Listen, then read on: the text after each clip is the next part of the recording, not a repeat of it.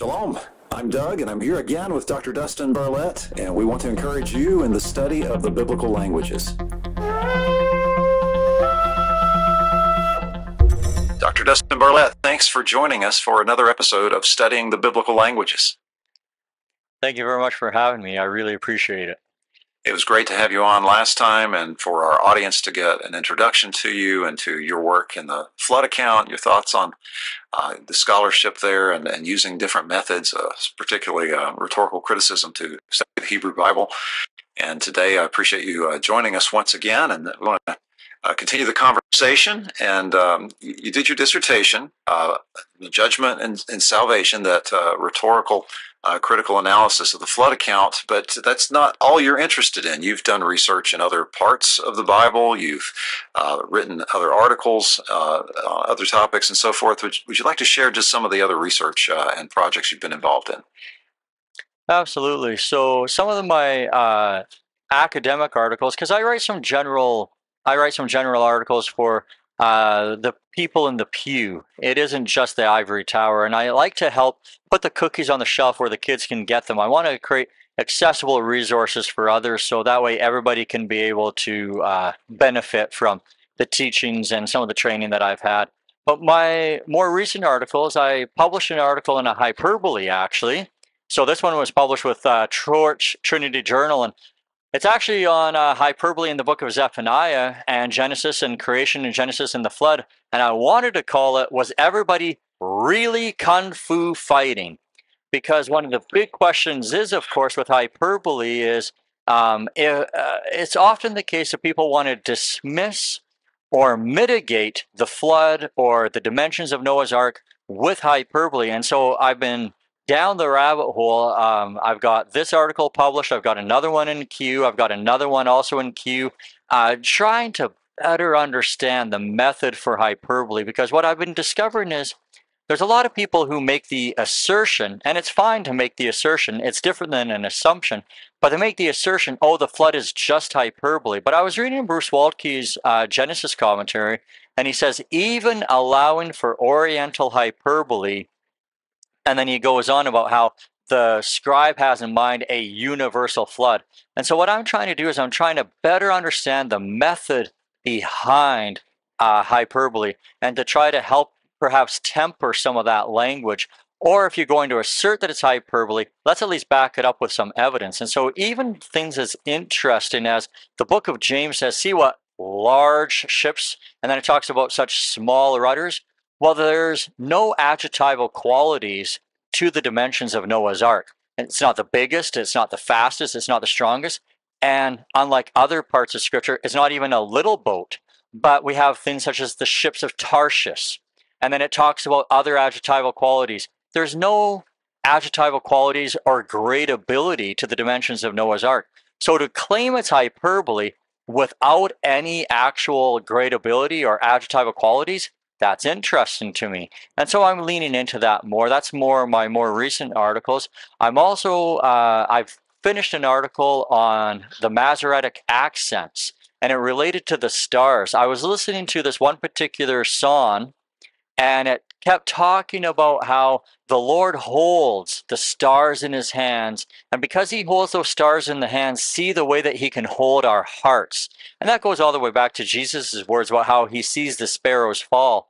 But as I was engaging with the literature, what I began to discover is that a lot of individuals try to marginalize the role of the stars as if he made the stars also. And there's a lot of validity to the fact that for God, despite the astronomical number of stars, astro, despite the astronomical number of stars, um, despite the high number of stars that actually do exist, they were a mere trifle for him.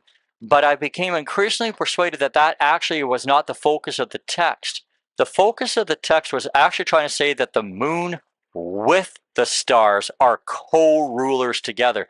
And that was based upon the accentual pointing. And then in another article that I'm writing also pertains to the accentual pointing, and it dovetails more with exegetical fallacies, and it has to do with what was Adam doing, Adam doing in the garden? Was he placed there or was he caused to rest there? And that the difference is with the Masoretic pointing of a particular verb there. Well, that's great that you're bringing this in uh, to help us understand the, the phrases, the, the clauses, the groupings, the words here, right? That's that's part of what's helping understand both of those passages. Yeah, that's right. And you know, interestingly enough, I teach Hebrew, and uh, not every instructor does this, but we actually require all of our students to read Futato's book on the basics of, uh, you know, on the accents. And we actually do go through one of my articles and we actually do go through some examples. And I feel that that's such a good tool, pedagogically speaking, to help come alongside students to position them for success. It took me a very, well, actually, a frustratingly long time to gain facility with the accents. And now that there's these new tools available and different resources, I say let's lean into them and give it all we got. Absolutely, no, no, excuse to, to ignore them now. When I went through my programs, it uh, wasn't something that, that I was able to get a lot of instruction in at first. Then uh, I had Dr. Steve Boyd as, as my last uh, official formal Hebrew uh, instructor, and he had us uh, learn the most common ones. And he was always very encouraging to me when I'd want to pursue some line of investigation um, with the accents there. And, and I find it interesting too on, on this channel, which is only at the time of this recording, has only been around around about six months or so. The most viewed video on this channel is one about uh, teaching with the Te'amim, about Masoretic accents and uh, fostering fluency for, for reading biblical Hebrew. And I never would have imagined of all the videos that we put out, I would have thought something on Greek would have been the most popular or something. But what do you know? The you know, people.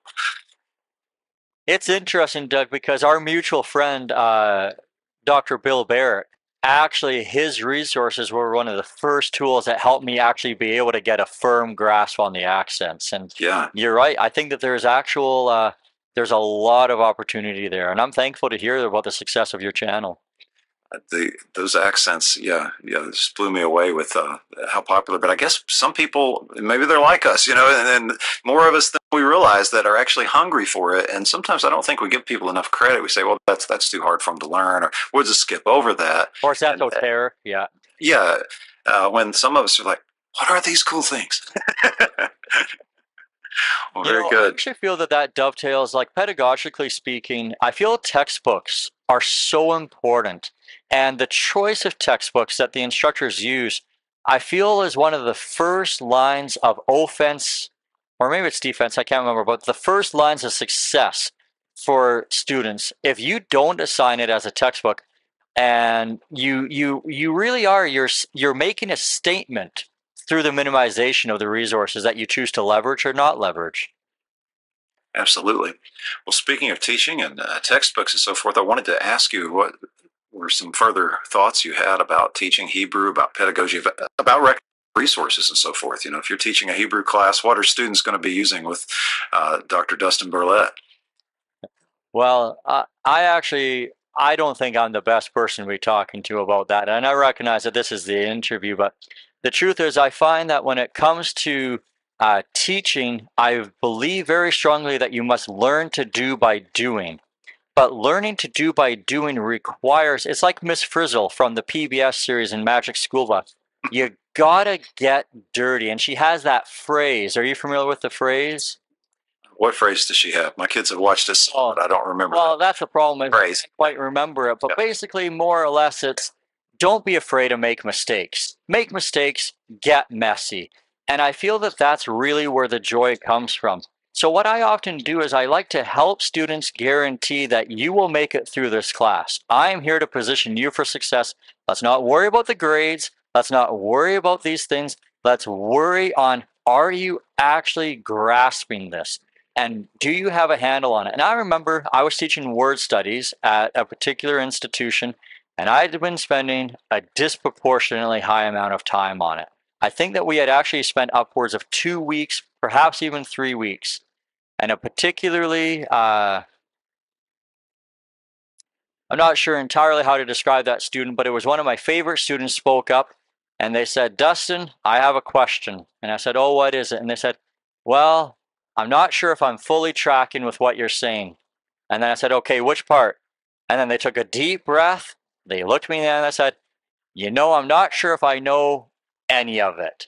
And we had to just take that moment, absorb that, and I started right back from ground zero because it's not important. You don't teach subjects, you teach students. And your whole position is not to cover the material or to cover the content, is to make, if the students aren't learning, you are not teaching. So I just stopped and I believe very firmly that spaced repetition is the best form of learning. So we went right back to ground zero and boom, they did that assignment and they aced it. But it took that time and that awareness and the sensitivity that, okay, if you're struggling, I'm sure that there's others, but I am here to serve you. That is the whole function and purpose of being an instructor is to serve and to give other people the leg up. Absolutely. Now that reminds me, you wrote an article on pedagogy for Logos website, didn't That's you? That's correct. And, yeah, uh, and so- Didaktikos. Yeah, that's right. Theodidactylos. That's actually right. And so in that particular article, it was on self-directed learning. And so it's interesting because I have a lot of conversations with my academic deans and even sometimes with my colleagues because all my syllabi have to get approved ahead of time. But I believe very firmly in what's called you pick projects.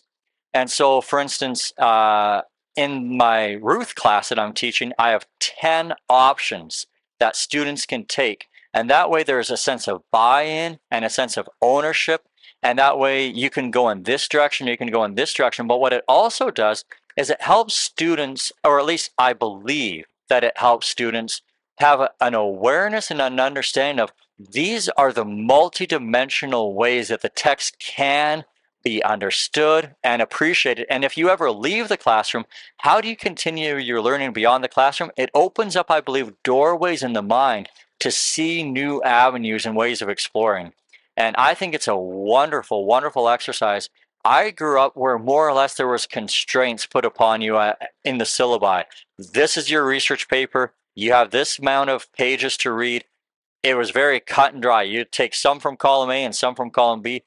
But I actually took advanced teaching skills, and in some of my classes, my original degree was actually in in education, and I had to develop not only my own syllabi, I actually had to develop my own uh, assignments within that syllabi, and it just gave me a whole new appreciation and love for self-directed learning and that sense of ownership within the classroom. And I've never looked back. And some of my favorite projects as a student were what were called creative projects, where you can actually bring in some of the arts or some of the hands-on components. And so we had people, and at Millar College of the Bible, there's an entire cabinet display of people who have developed uh, different metallurgy works. So they actually made spears.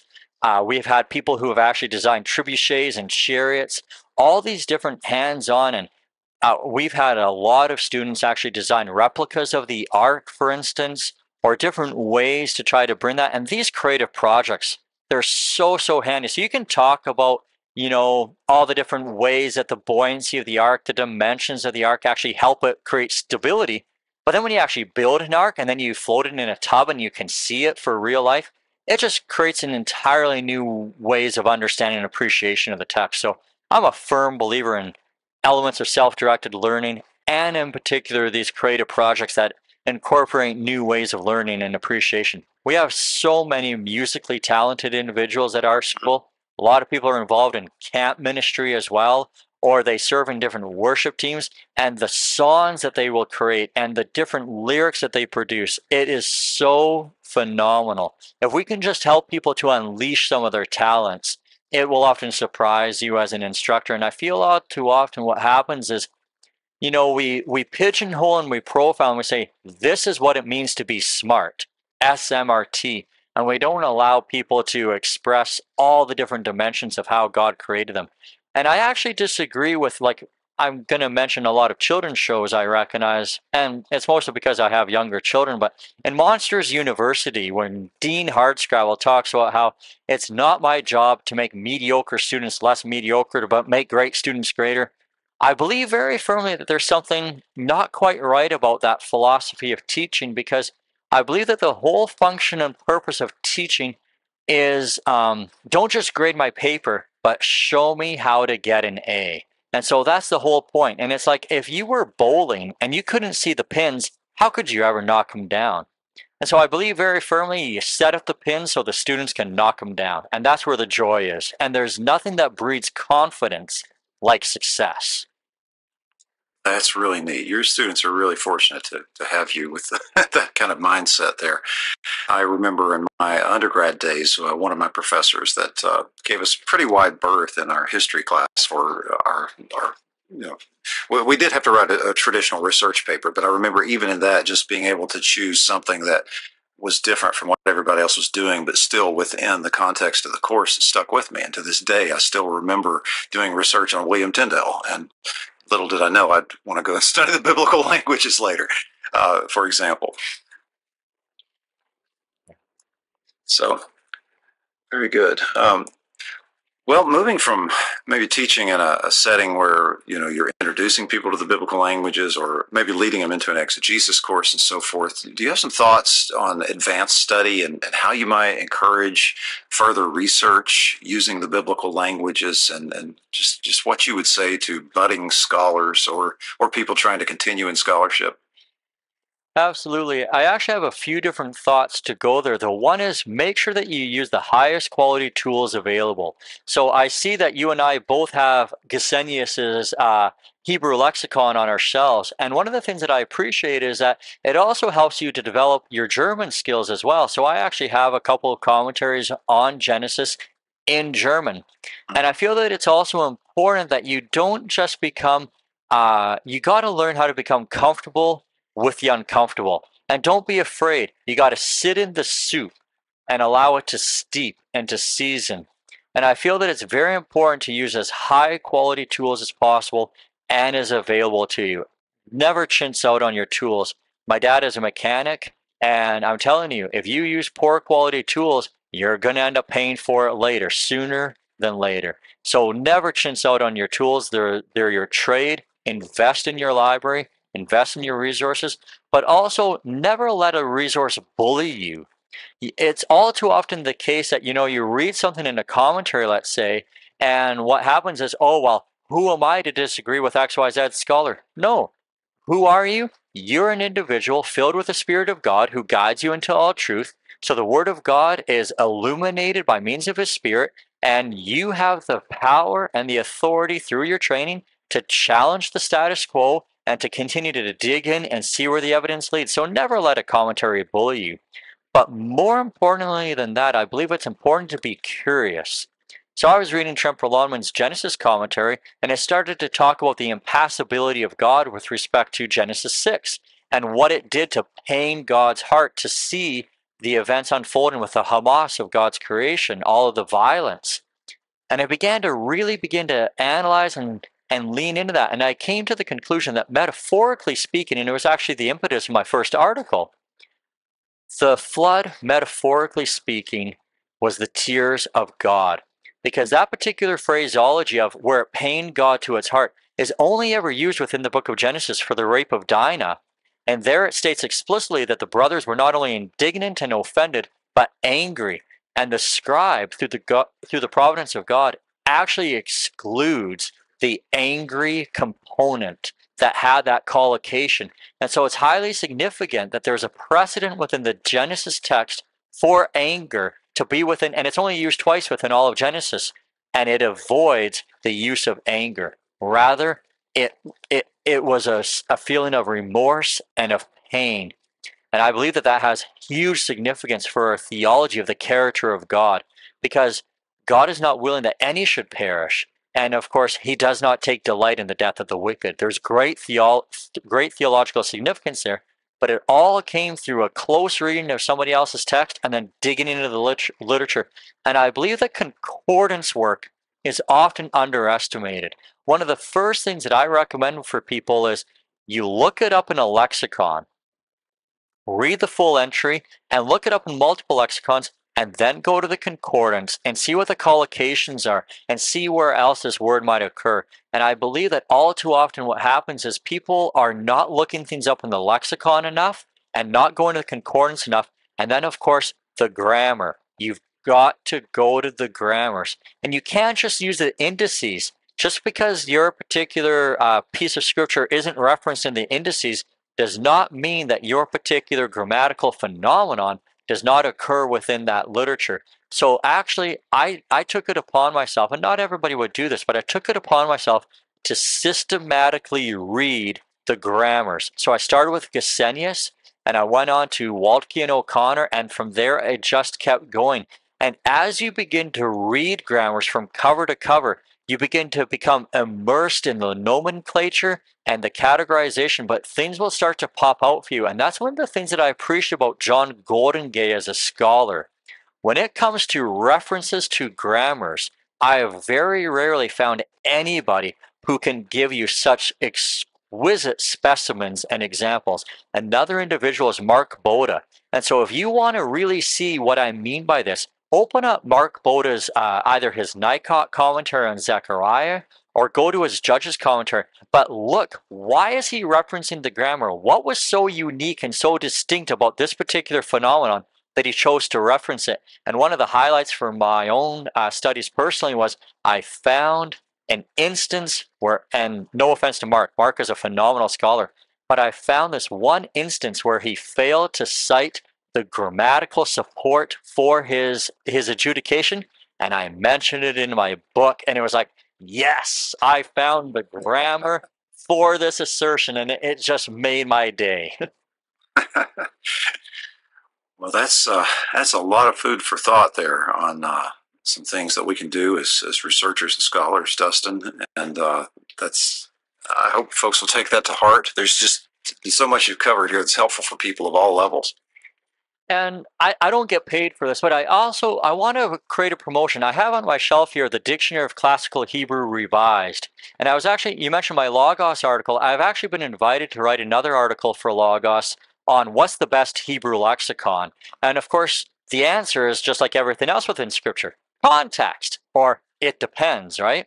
For pastors and for most preachers, I love the New International Dictionary of Old Testament Theology and Exegesis the buckets of meaning, the semantic domains, it's such a useful tool. But for most researchers, there's nothing that can be a substitute in the Dictionary of Classical Hebrew, the revised edition. And there's a really good discount going on. If you order, uh, it's not available for institutions, it's only available for persons. And you sign up, and every month you pay a certain amount, but they will send you all of the resources at once. And so the Dictionary of Classical Hebrew abbreviated is coming out this month, the revised edition, and I have three issues. But this is one way because when you make that commitment, when you make that investment, you're in it for the long haul and you put your money where your mouth is. Well, for me personally, making that investment was a very important part of me stewarding my resources because when you're making this financial contribution, I had to speak with my wife about it. We had to sit down as a family because these resources could be allocated for lots of different things. But we together as a family made the decision this is important. And it isn't just for my own uh, you know, uh, people can say, oh, you're trying to toot your own horn. You know, you have a PhD. But for me, PhD stands for a pretty happy dad because there's nothing that makes me more happy than to know that I have a relationship with my kids, I have a relationship with my family that's under the umbrella of God's authority. But I'm trying to steward that by being in close alignment with the Word of God. And so one of the ways that I hope to steward that was I, I put my money where my mouth is and I invested in those lexicons. And for me personally, I've never regretted it. Excellent. Well, Dustin, uh, once again, we appreciate you uh, joining us on studying the biblical languages. I'm going to put some links in the description and the companion webpage uh, for our interview where people can find your book, version of your dissertation, and purchase that. Uh, to check out uh, other articles uh, that you have. And also, there's several other podcast interviews that you can find online where Dustin has been the featured guest. And I would encourage you to check those. Really enjoyed that recent one with the Hebrew Bible Insights. Thank you very much. And I really appreciate you having me back, Doug. Thank you. Uh, you're very welcome. And, and, thank you also. You've also been a, a constant supporter and encourager on this journey of uh, having these episodes on studying the biblical languages. Folks will see your comments and so forth. And uh, we really appreciate that, Dustin. So thanks again for coming on today. You bet.